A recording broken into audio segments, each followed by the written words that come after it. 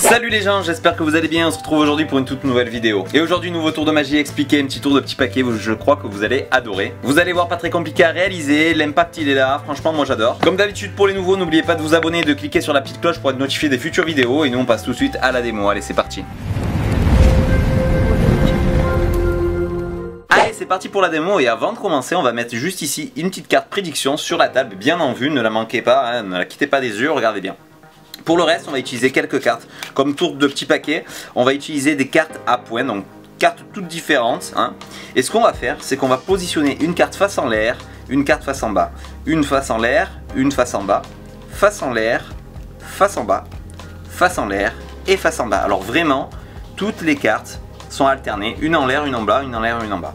Et par la suite, on va demander à un spectateur de choisir euh, quelle carte nous allons sortir du ruban. Donc soit les faces en l'air, soit les faces en bas, vraiment les cartes de son choix. C'est il y a libre, choix. Hein. Donc imaginons que là, ils choisissent euh, les cartes face en bas. Donc on, retire du ruban euh, les cartes face en bas, comme ceci. Et vu qu'on voilà, on les retire, on n'en a plus besoin, on va les mettre dans la poche. Pas de problème. Nous reste donc sur la table 4 cartes quatre cartes différentes. Et là, on va demander au spectateur de choisir la carte de son choix. Alors vraiment, libre choix, hein, vraiment celle de son choix. Euh, imaginons qu'il nous dise le 6 de trèfle. Là, il n'y a pas de choix équivoque. Vraiment, il aurait pu choisir la carte de son choix. Et avant d'aller plus loin, je vous propose d'aller voir un petit peu la prédiction euh, qui est sur la table. Et si on regarde, en fait, la prédiction, en fait, il y a écrit quelque chose. Il y a écrit tu choisiras la carte au dos différent. Alors ça serait fort que vraiment la seule carte que le spectateur a choisie après tous ses choix, et effectivement un dos totalement différent. Et vous allez me dire, euh, si le spectateur avait choisi une des autres cartes, qu'est-ce qui serait passé?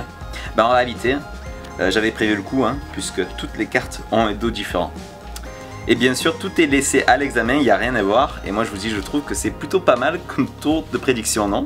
Et voilà, j'espère que la petite démo vous a plu et comme d'habitude pour ceux qui voudraient apprendre à réaliser le tour, vous aurez le lien de la vidéo explicative dans la description. Comme d'habitude, si vous avez des questions, n'oubliez pas que vous pouvez me retrouver sur les réseaux sociaux avec Facebook, Instagram et maintenant TikTok. Donc voilà, n'hésitez pas à me retrouver sur ces différents réseaux sociaux. Et également mon école de magie www.magistreaming.fr, la seule école de magie en ligne gratuite sur internet pour apprendre les bases de la magie des cartes ainsi que la magie des pièces et retrouver également des tours expliqués. Et également dessus ma plateforme de VOD pour avoir accès à des tours plus élaborés en passant par la construction de gimmicks et bien plus encore. Ceux désirant me soutenir, vous pouvez souscrire à Tuto Magie Premium sur YouTube pour avoir accès à du contenu exclusif, des emojis, des posts et également la possibilité de participer tous les 15 mois à un concours réservé aux membres. Bref, tout est dans la description, n'hésitez pas à aller checker tout ça. Je vous remercie du fond du cœur de me suivre chaque semaine, être présent sur toutes mes vidéos. Les petits commentaires qui font grave plaisir, je les lis tous. Et sur ce, moi je vous dis à très vite pour une prochaine vidéo. Ciao tout le monde